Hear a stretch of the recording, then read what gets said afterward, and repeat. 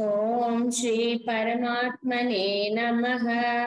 अथ पञ्चदशोऽध्यायः पुरुषोत्तमयोगः। श्रीभगवानुवाच ऊर्ध्वमूलमधश्चाकम् अश्वत्थं प्राहुरव्ययम्। छन्दांसि यस्य पर्णानि। यस्वौ वेद स वेदवित् अधश्चोध्वं प्रसृतास्तस्य शाखाः पुनः प्रवृद्धा विषयप्रवालाः। अधश्च मूलान्यनुसन्ततानि कर्मानुबन्धीनि मनुष्यलोके। न रूपमस्येह तथोपलभ्यते। नान्तो न चादिर्न च सम्प्रतिष्ठा अश्वत्थमेनं सुविरूढमूलम्। असङ्गशस्त्रेण दृढेन चित्वा। ततः पथन् तत्परिमार्गितव्यम् यस्मिन् गता न निवर्तन्ति भूयः तमेव चाद्यं पुरुषं प्रपद्ये यतः प्रवृत्तिः प्रसृता पुराणी।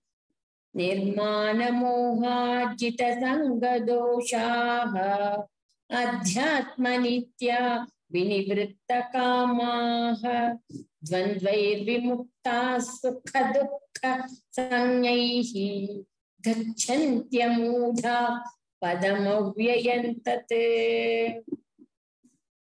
न तद्भासयते सूर्यः, न शशाङ्को, न पावकः। यद्गत्वा न निवर्तन्ते यद्धाम परमं मम। ममैवांशो जीवलोके जीवभूतः सनातनः मनश्चष्टानीन्द्रियाणि प्रकृतिस्थानि कष्यति शरीरय्यद्व यदवाप्नोति यच्चाप्युत्क्रामतीश्वरः गृहीत्वैतानि तैयाति वायुर्गन्धानि वाशयात् श्रोत्रं चक्षुष्पर्शनं च रसनं घ्राणमेव च अधिष्ठ अधिष्ठाय मनश्चायं विषयानुपचेवते उत्क्रामन्तं तितौ वापि। मुञ्झानौ वा गुणान्वितं विमूढानानुपश्यन्ति।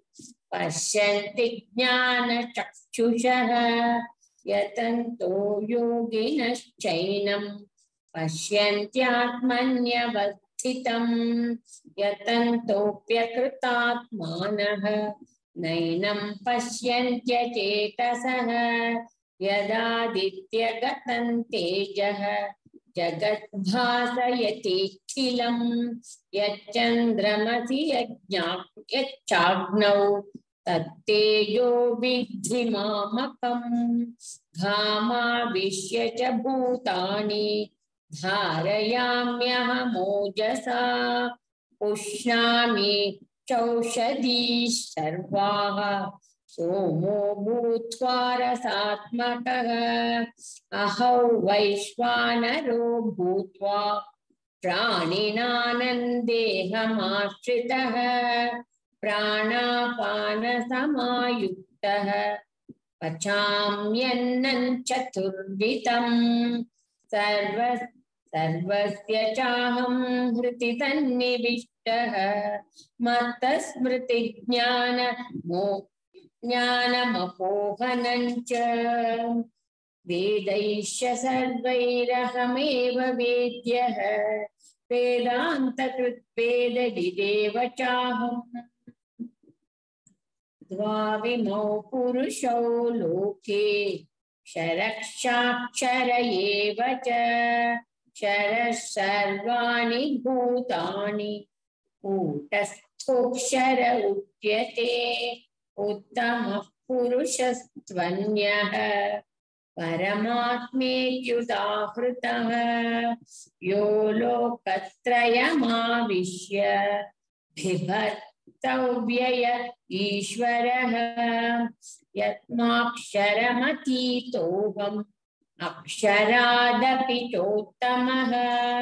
अतोऽस्मि लोके वेदे च प्रतितः पुरुषोत्तमः।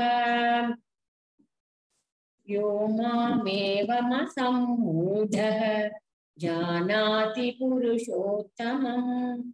स सर्वविद्भजति माँ सर्वभावेन भारत इति गुह्यतमं शास्त्रम् नख। एतत् बुद्ध्वा बुद्धिमान् स्यात्। भारत।